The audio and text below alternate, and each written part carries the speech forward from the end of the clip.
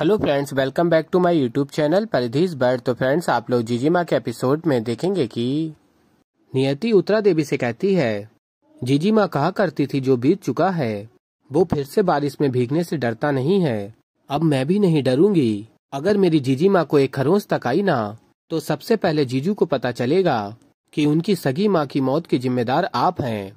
और फिर फ्रेंड्स आप लोग आगे देखेंगे कि उत्तरा देवी सोचती हैं कहीं फाल्गुनी को इस घर से भगा के मैंने अपनी ही कबर तो नहीं खो दी फाल्गुनी तो मेरा तुरुप का इक्का है। उसे तो मुझे अपने हाथ में रखना चाहिए था।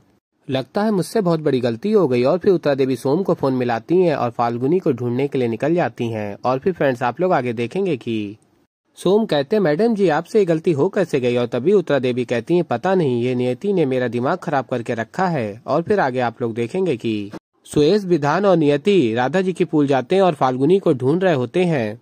और फिर सुएश रिक्शे वाले से पूछता और वो बताता है, अरे, ये लड़की यही तो थी अजीब अजीब सी बातें कर रही थी। बोल रही थी कुछ की डॉलैंड जाना है।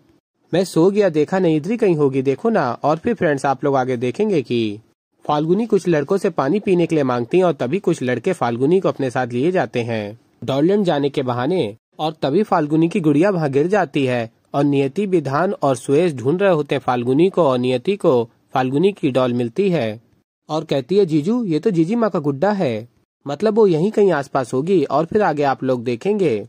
कान्हा जी की कृपा से फाल्गुनी उन लड़कों की कैद से निकल आती है बाहर। और तभी एक औरत फाल्गुनी को देखती और अपने साथ लिए जाती है। और फाल्गुनी को एक ग्रोह के हवाले कर देती है कुछ रुपए लेकर। तो ऐसे ही फ्रेंड्स आगे और भी बहुत कुछ देखेंगे आप लोग। तो अभी के लिए इस वीडियो में इतना ही। तो फ्रेंड्स अगर आप लोगों को हमारी वीडियो पसंद आई हो तो वीडियो को कर दीजिएगा लाइक चैनल पे नए हैं तो चैनल को कर लीजिएगा सब्सक्राइब मैं मिलता हूँ जल्दी आप लोगों को एक नई वीडियो के साथ तो तब तक के लिए बाय बाय